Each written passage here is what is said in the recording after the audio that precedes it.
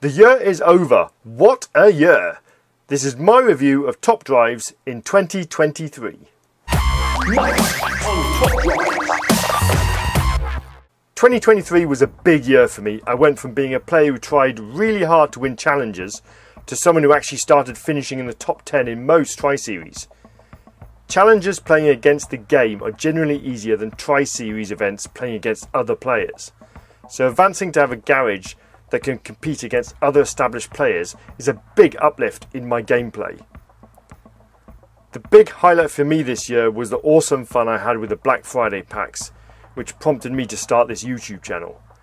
I hope you like the videos I've put out on this channel so far. I will try to keep up to date with what's going on in Top Drives, and hopefully I'll see those subscriber numbers growing. The first prize car of the year was given out on New Year's Day from the Tri Series that started in late December 2022. It was for the absolute game changing Lotus Evija. This car has no acceleration curve, it's 0 to 228 instantly. It's a truly amazing car that I'm so lucky to have won. The next Tri Series prize car I won was the Lancia LC1 Spider. It's a proper motorsport car, which unfortunately hasn't turned out to be that useful. The third Tri Series at the end of January was for the BMW M5 CS. It's a Black Forest legendary that again hasn't been overly useful. The year the Rabbit Challengers won me the legendary Lotus GT4. Again, I've not used it that much at all. Not a great month after getting the amazing Lotus on New Year's Day. In February, 111 new cars were added to the game in Update 18. Called Learn the Savannah Way, it was all Australian cars, including a lot of Holdens. No legendaries included at all. We would have to wait another five months to get the legendary Brabhams added to the game. The challenge series this month was called Love Me, Love Me Not and paid out the Saleen S7 prize car. I failed to win the Ultima RS from the first Tri Series of the month, but managed to get hold of the Mercedes C11 in the second. The Mercedes C11 is one of my favourite cars. I've managed to max it over the last six months and it's been so useful in all sorts of events. In March, the Tri Series events were for the Pagani Imola and the Expo GTX, both of which are good cars.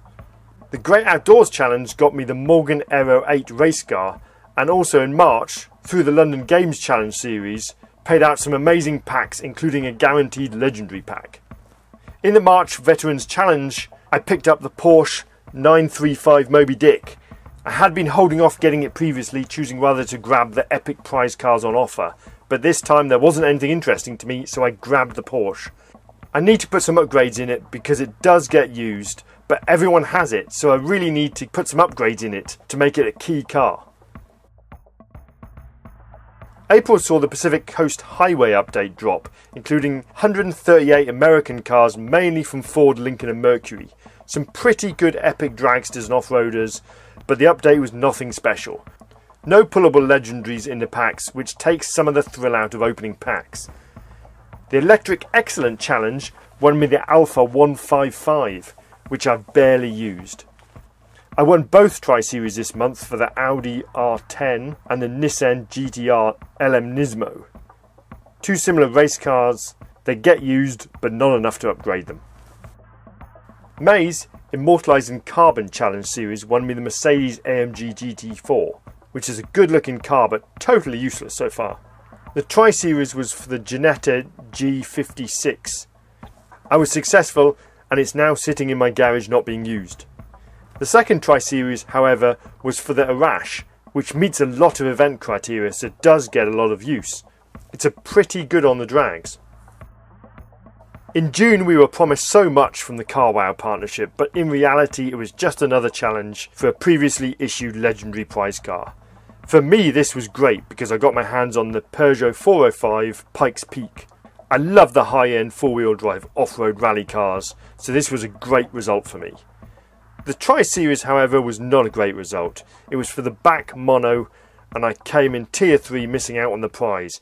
It was a hard blow for me because I did have a hand for Tier 2, but circumstances in my bracket stopped me from winning it. I got over it pretty quick as it's not turned out to be anything special. The second Tri Series was for the Porsche 911 GT1, which is an okay car. In July, the new update 20 added a massive 366 cars with the Asia Pacific Grand Prix tag. It contained cars from Japan, South Korea, and a small number from Australia. The significant new brand that was added was Hyundai. It was a good mix of great cars and basic average cars. In July, I won both Tri Series for the Audi R18 and the Porsche RS Spider. Similar cars with similar stats. The GT Series returned with a challenge for the tiny Alpha 177. I won that and use it when I can. At the end of July, I won the Rezvani Beast Alpha X Blackbird Prize from the Roads Most Travelled Challenge series. It was good to get it as it completes my Rezvani collection. August Tri Series were for the Pagani Huayra R and the seriously fast Koenigsegg Jesko Attack. I won both of these cars and the Jesko Attack is very useful. The top speed is crazy high, so it's always top of the list for the test bowls when it meets the criteria. The Unicorns challenge was too hard for me, and I failed to get the Dodge Durango in the last challenge. Not a big issue as it seems. I'm okay missing out on a few prize cars, especially if it's an American dragster. Let's face it, I've got plenty of them. The challenge series in September called Cutting Edge was for the Ford Falcon prize car. I did finish it and was pleased to get the great dragster from Australia in my garage. It has definitely been useful since. The first of September's Tri Series got me the all surface tyre Audi S1, which has been a massive boost to my garage since I don't own the Suzuki Pikes Peak. It is now maxed and very useful, not only on mixed tracks but also on city streets with speed bumps. The September GT Series was for the Hyundai Ioniq. I missed out on this one as well. It needed too many upgrades in my legendaries to get it, so I just let it go. It wasn't worth wasting the fuse material. October's challenge was photo finish for the off-road Hyundai i20. I like off-road cars, so hopefully it will be useful. I was very pleased to get it, as I'd missed out on the performance tyre Hyundai a month before. I haven't used it much yet, but I'm sure it will come in handy in the future. I wasn't overly interested in the Tri Series for the standard time Mitsubishi Lancer Evolution 8. Over the last six months, a ton of new standard tyre cars have been added to the game, and I'd already pulled the non-prize car Mitsubishi Evolution 4, that's one RQ less. That said, I did win it. The second Tri Series was for the Ginetta G58. I won it, and it would be useful if I didn't already have the British Lotus Evija that is maxed. It's in my garage in case I need it. There was also an awesome Tri Series trial for the Lancia Delta S4 Rally, which is now one of my best off road cars. I've just finished maxing it 323 because it regularly wins me stuff, so it's well worth putting the fuses into it. Another four-wheel drive standard tyre legendary was up for grabs in the Tri-Series for the BMW Shining Shadow. Again, I wasn't that bothered. I didn't try too hard. You know what I mean?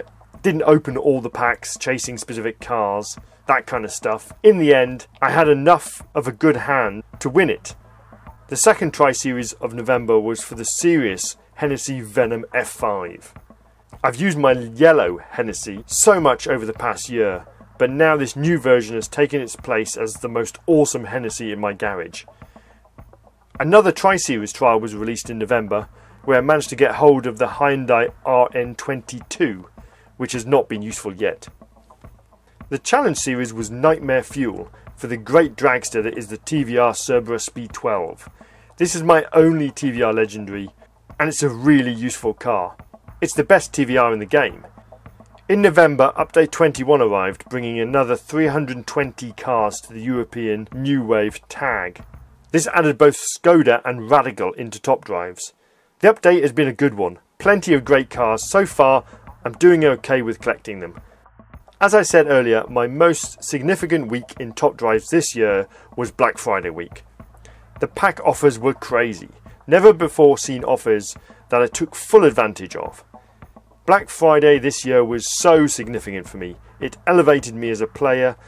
I invested in it heavily because it was an opportunity to leap forward with pulling new legendaries and also importantly pulling plenty of epics and ultra rares to use as upgrade fuse material.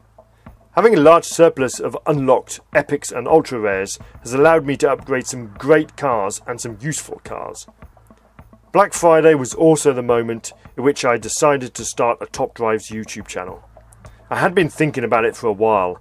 I really enjoy the video editing process, so pulling 21 legendary cars across all those offers was a great jumping off point. I hope it's worth it. I hope my videos start to get some traction on YouTube and that I can keep growing as a channel through 2024. I hope you will stick with me on that journey.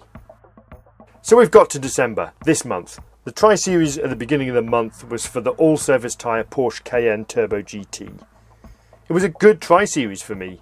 Of course, now we're talking about December, you can actually watch the videos associated with the events and challenges I'm covering here. The GT Series for the Brabham BT62 Ultimate Track Car went well too.